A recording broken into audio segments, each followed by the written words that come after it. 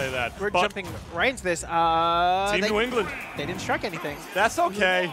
It's Team New England, of course, Light with his Fox, with Marss, with his Ike, actually. This is his other character that he has on CSS. He's been playing Ike since pretty much the game dropped. He always saw the potential in this character. Going up against Kevaros and Business Goldfish, playing Toon Link, a pretty uncommon character compared to how good the other two Links are in this game, actually, and Dark Pit for Goldfish.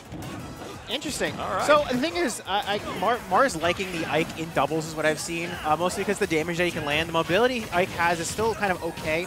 Um, just make sure you just don't get hit and you don't have to worry about that recovery scenario that Ike doesn't have to do. We did see that Ike um, last round um, one before, but unfortunately those were taking a little uh, stocks a couple early. But really, Ike is going for uh, this time around, just going to get comboed a bit by Dark Pit, and Light trying to go and fish for that up smash, and I think he quite does get that against Kevaros. Yeah.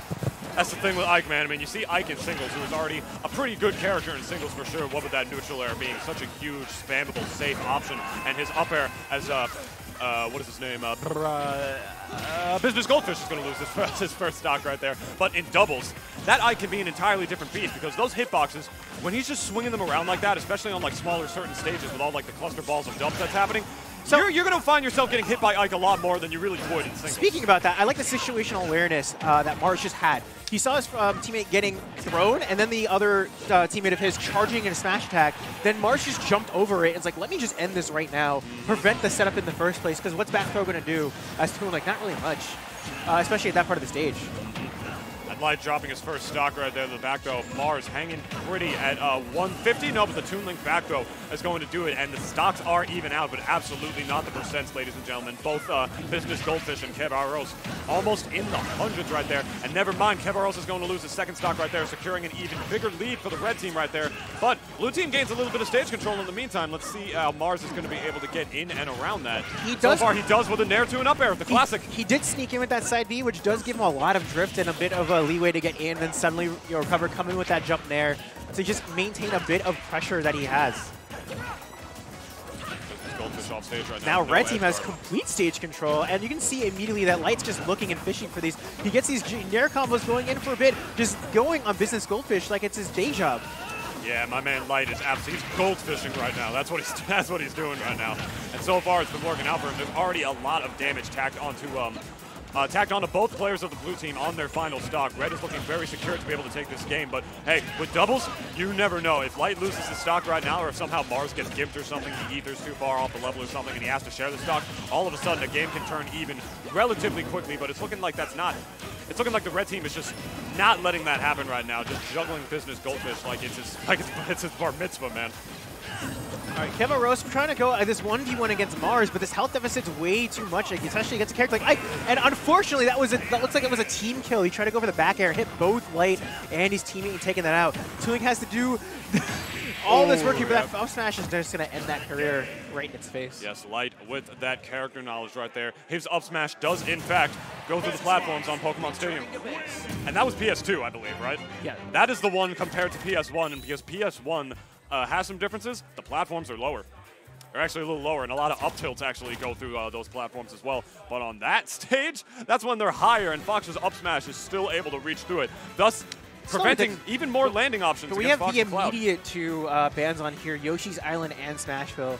So we're going to see what exactly they're going to go for. They're going to go right to Unova. Ooh. All right, you That is my favorite Pokemon region. Everyone hates it. But Yeah. I like it because it is basically New York. Oh, I bet you're happy that's a legal stage then. Yes, Yeah. very. Legal stage among the smallest in terms of blast zones, I believe, out of all the legal stages we have. Horizontally, I'm not sure if that's the case. Vertically, it has the lowest blast zones for sure. I know that. Horizontally, it might actually still be Smashville or Town and City. They both have really tiny ones, both of the Animal Crossing stages. But regardless, that is not where we're headed. We're taking a trip to the Big Apple right now, New York City in Unova. I mean, we can say New York City and there's this like giant castle in the mountain. Yeah, that's totally Central Park, you know? It looks more like India. that looks like because that looks like the Taj Mahal, or, or a little bit in the back, something like that. But anyway, we're running it off to Unova, smallest stage. You're going to be seeing stocks die relatively early with uh, Light, of course, able to juggle really well with his up air and catching kills with his up smash as well. And Ike, of course, just having a strong hitbox and literally everything. This blue team is going to want to try and stay away from Marss as much as they can unless they find a good way to get in and actually juggle him and take advantage of his big body like that right there with the boomerang coming back, converting into the up smash. Because I can definitely see Ike, you know, the heavier character, the damage uh, outputter right now, not the damage outputter, but the, uh, uh, what am I trying to say here? The stock taker right there Oh, as he takes his own team teammate kill. stock right there. Oh, and we got, a nice, tank. we got a nice blue lead here, getting both uh, Marss and uh, Light early on. Yeah, look at that. That's kind of the opposite of what happened One thing I noticed last round was that uh, there was actually a, quite a bit of synergy between Business Goldfish um, and uh. Like the, the fact that two of them had like juggle combos between each other, doing these like quick little back airs or up air uh, strings just to juggle them back and forth, shows that they have a de- decently either some practice together or at least just team practice together, playing Oh, quite for often. sure. To even take as many stocks as they did against Marss and Light that game, these guys have got to be statics. Or maybe they're just both really good players who like were able to adapt to each other really quickly. Sometimes people just have that sort of a that skill or awareness in dubs. Right now, my man Kev Aros is getting mixed at the side. I don't know if you saw that. Uh, He definitely short is, Hop, that and- short hop forward air to fall. Yes, and on the other side, Ike was making sure that Business Goldfish had no intervention. He's just going to let his you know, friend watch, just watch his friend up and get comboed by Light, Yeah. and there's nothing you can do about it. I mean, he was stuck between a um, he was he was stuck between a um, he was stuck between a Marss and a hard place. so Marss was definitely taking care of him. He was making, and that's really good on Marss more than anything else. He was making sure his teammate, uh, he was making sure that Kev Aros uh, would not be able to go in and save uh, save his teammate right there. So if anything is Oh on him, no, that that was that was quite an unfortunate string uh, over between uh, Light and Business Goldfish. Unfortunately, he side beat right onto his shield, got pushed off, and then he just got hit on the ledge with down smash as he tried to get back to it. So that is going to give the red team lead immediately.